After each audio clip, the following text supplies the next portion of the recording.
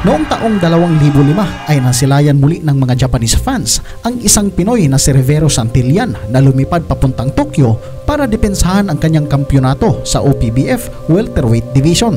Ito ang unang paghaharap nila ng Japanese challenger na si Kazuhiko Hidaka. Hindi pinalad ang ating kababayan sa labang ito mga bay kung saan nga ay dito niya naranasan ang unang knockout loss sa kanyang karera sa boxing.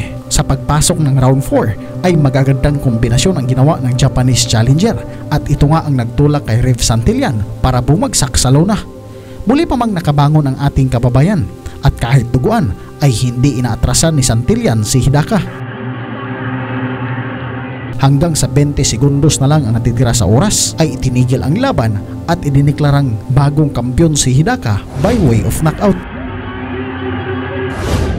Bago naganap ang nasabing rematch mga bay, ay may isa pang Pinoy ang nais maghiganti. Ito ay si Dondon Sultan, ngunit hindi rin pinalad at na technical knockout sa round 7.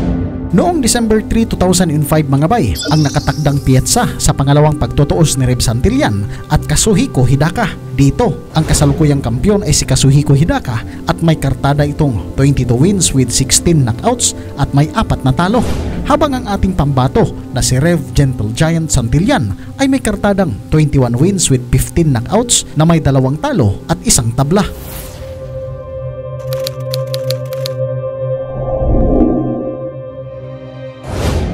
alertong sumugod agad ang hapon mga bay sa pagumpisa ng round. Pero natuto na ang Pinoy at hindi muna nakipagsabayan at mas pinili nito ang pagdepensa.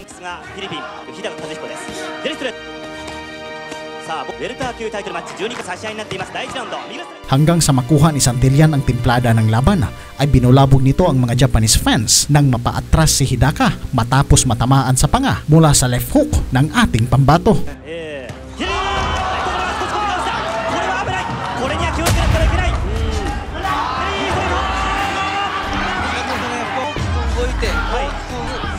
の届かないですね。えーまだちょっと効いてますからね。まだ効いているちょっと反応してないんですよね。反応していないジャブでも効いてるいてますからね。デリストレートあの平川和彦のデリストレート両者の打たれ方が、はい日高はもっと回復させてからでいいですね。ではないと形がありますから。あ大きくして脅しかけて分かれて、はいその後ああーでもここは落ち着きたいチャンピオンですね。えーですからね、とにかくね、ストレートそこは Bago pa man magtapos ang round 1 mga bay, ay huwag kalimutang pindutin ang like at subscribe button pati na rin ang notification bell para maging updated ka sa ating mga bagong videos.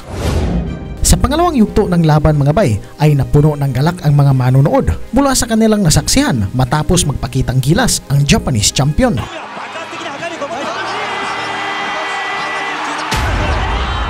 Subalit ito'y napaghandaan na ni Santillan at sisiyo na nga lang upang makagawa ng isang counter punch.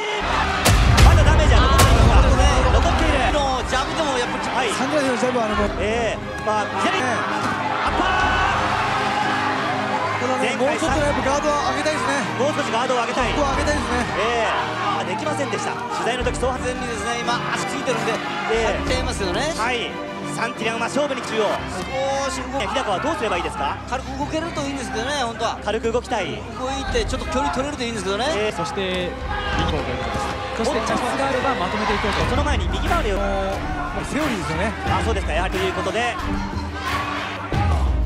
り、えー、まあ意識して。左田中さん、はい挑戦者サイドですよはいどうぞには本当に注意しろとガードだけは絶対にした方がいい勝利中の日高和彦で両者リングの中央左を伸ばしてくるサンティラン Kalimitan mga bay ay uppercut ang naging susi ni Santillan para pasukin ang depensa ng kalaban. Sa bilis nga ni Hidaka magpakawala ng kombinasyon ay hinihintay muna ng ating kababayan na tumigil ang hapon bago ito magbitaw ng suntok at paisa-isang pagsundot ng 1-2 combination.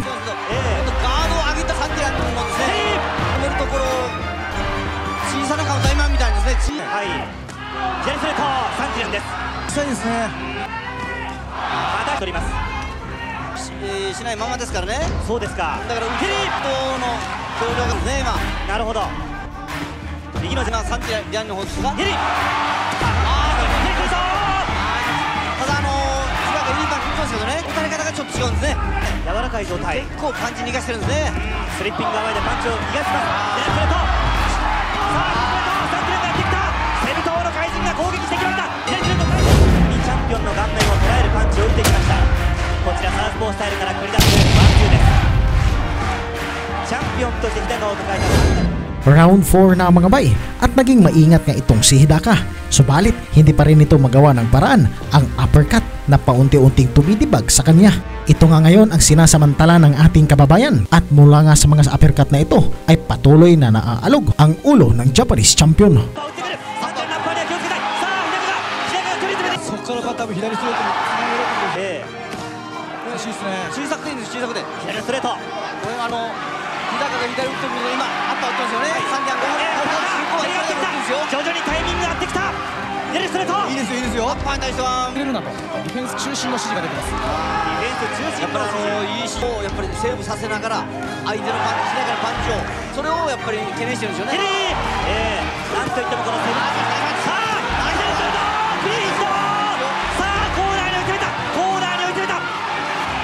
も打ち返してくる。左のストレートを伸ばした。残り時間わずかになってまいりました。あっとこれ危ない。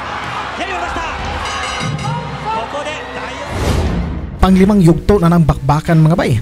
maganda nga ang panimula ni Hidaka sa laban. Samantalang ang ating kababayan naman na si Santillan ay naging matipid sa pagsuntok at kapansin-pansin na bumabagal na ang mga galaw nito. Maaari ring kinukonserba lang ng Pinoy ang kanyang lakas para sa susunod na round ay mayroon itong kakaibang ipamalas. パンチ小さくなってきてと話していましたまあ今回はそういう風にまあねはいございまして少し腰を若干落とすようにも見えましたさあその日高が前に攻めていった左ストレート左を伸ばしてきた 右のジャブフェイントをかけます。左ストレートワンツー。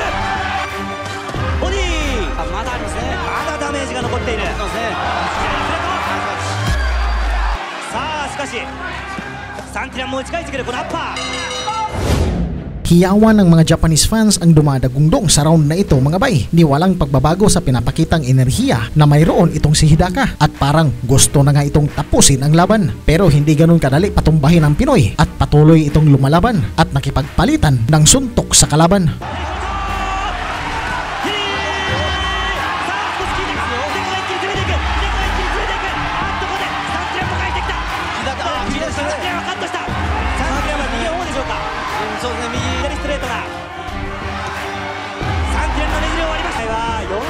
中というチャンピオンの日高です試合をしたいチャンピオン左スレートあのショートにいいですよねきれい効いてますよ効いてますよローラン効いてますよサンティラが効いているお打るところ効いてますよ効いてますよようになってきましたパンチを小小さく打つことさく打つ左ストレートワンツー打ってもしますしかしこの3点は非常に打たれ強くて有名です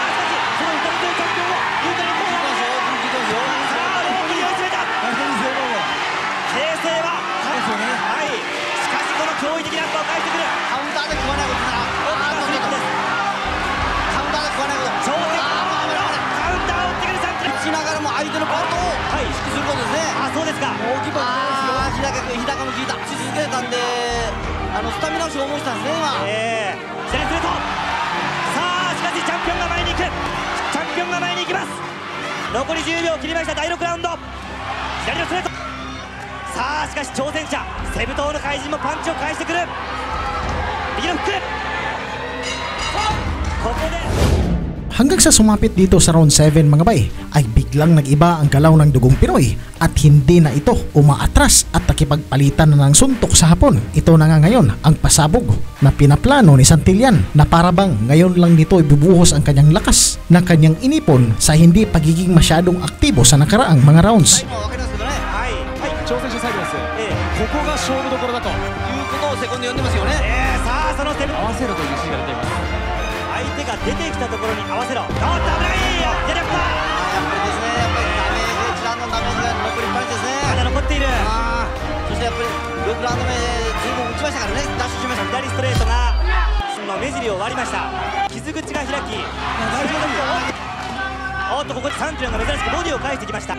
サンティランは言っていました。日高のウィークポイントは上顎そしてボディだそう話しています。アッパーを左ストレートですよ。ええ。今まあ、なんといってもこのサンティランおっと左ストレート左 KO 率70%以上この両者の対戦さあアッパー右のフックパンチが大きすさっきのねアッパーねでもえ先ほどもちょっとねサンティアゴも疲れてきましたよー、3疲れた。両者の別右のスライ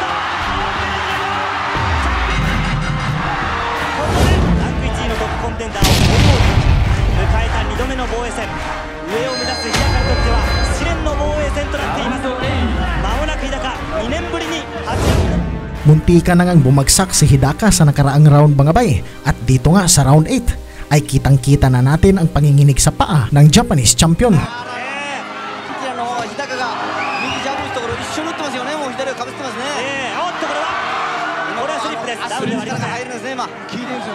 Ah, so desu ka. 足に力入らない。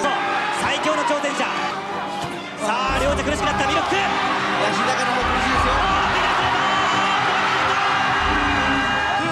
At sa loob nga lang ng isang minuto mga bay ay nabawi ng Pinoy ang belt ng OPBF nang manakouut ang Japanese champion at sa tinding pagod at pagkahilo nga nito ay muli itong napahiga at sa hospital na nga ito bumangon.